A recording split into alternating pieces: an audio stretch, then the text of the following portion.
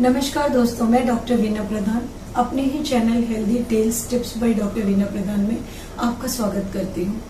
आज का हमारा विषय है पिगमेंटेशन या झाई कहें तो जो मेलानिन नाम के चीज़ के कारण अपनी बॉडी में जो सिक्रेट होता है, उससे होता है, जिनके में ज़्यादा सिक्रेट होता है, उनका कलर थोड़ा डार्क होता है, जिनके में कम होता है, वो गेहुआ या गोरे होते हैं।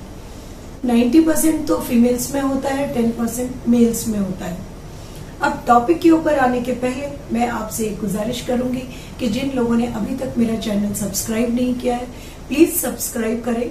बेल आइकन को भी दबा दें कि जिससे हमारी मुलाकातें होती रहे और हम कुछ जाने, कुछ सुझाव लें।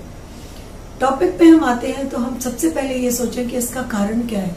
कारण में सबसे पहले तो होता है कि डाइट में जो आपकी डिफिशियंसी हो दूसरा हो गया आपकी धूप में ज़्यादा काम करते हो।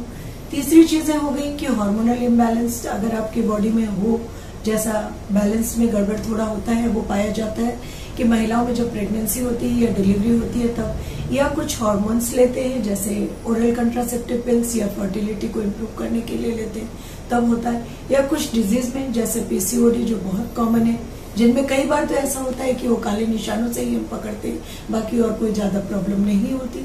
दूसरा एडिसन डिज़ीज़ देन हिमोक्रोमेटोसाइटोसिस फिर आती है बात की कुछ मेडिकल कंडीशंस तो हो गए। कुछ लोग कॉस्मेटिक्स इतना यूज़ करते हैं जिसे क्लीन नहीं कर पाते ढंग से। उसके कारण भी होते हैं। तो अब हम इनके चार प्रकारों को जाने एल्बिनो एल्बिनो में क्या होता है कि व्हाइट पैचेस होते हैं। ये अनुवांशिक होते हैं ज़्यादातर, जिसमें मेलानिन कम बनता है, ये लोग ज़्यादा गोरे उठते हैं।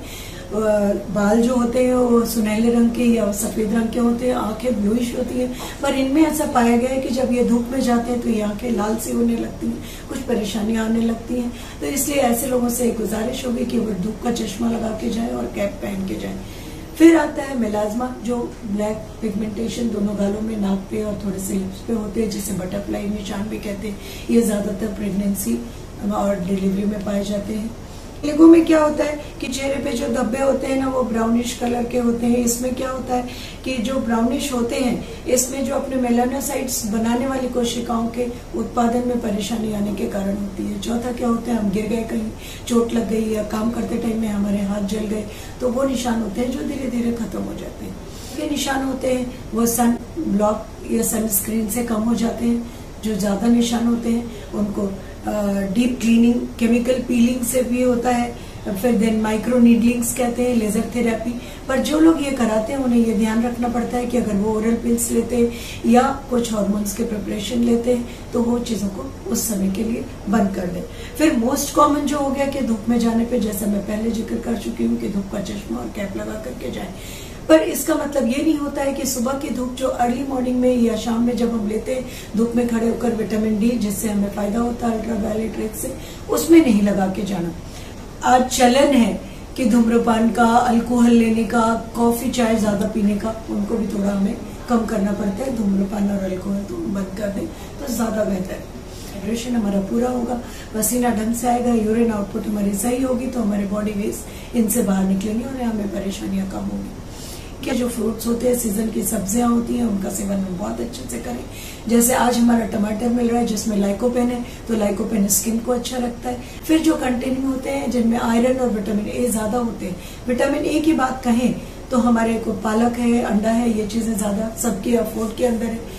बाकी आयरन के लिए हमारे जो पालक है, वो ले लें। ये जरा स्प्राउट्स ले लें, छिलके वाली दाल ले लें, क्योंकि कुछ लोगों की ये मान्यताएँ होती हैं और कुछ हद तक ऐसा पाया जाता है कि जिनका पेट साफ़ नहीं होता, उनके स्किन पे पिंपल्स और निशान ज़्यादा होते हैं। फिर बात आती है कि हम क्या नहीं लें। सबसे पहली बात कि खाना हमारा होता है, राशन हमारा होता है, बनाना हमें होता है। तो हम इतना ही खाना बनाएँ जो एक वक्त में खत्म हो जाए।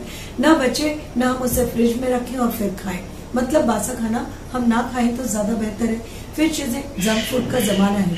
तो जंक फ़ूड को हम अवॉइड करें तो ज़्यादा बेहतर है क्योंकि इनके ग्लाइसेमिक इंडेक्स से हमें फ़र्क पड़ता है, पेट तो भरता है, लेकिन हमें न्यूट्रिशन नहीं मिलता।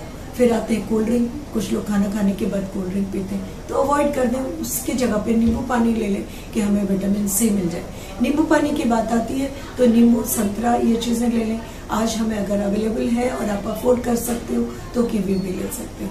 फिर चाय और कॉफ़ी। चलन बहुत हो गया है। सर, हमने तो चार कप चाय ले ली। मैम, हम तो कॉफ़ी पसंद करते हैं तो हम कॉफ़ी कई बार पीते हैं। पर इनमें जो निकोटीन होती है, वो हमारे स्किन को नुकसान पहुंचाती है। तो हम इनका सेवन कम से कम करें। Iron, vitamin C, vitamin A और सीजनल फ्रूट्स को अपनी डाइट में शामिल करें और चमकती काया को अपनाएँ।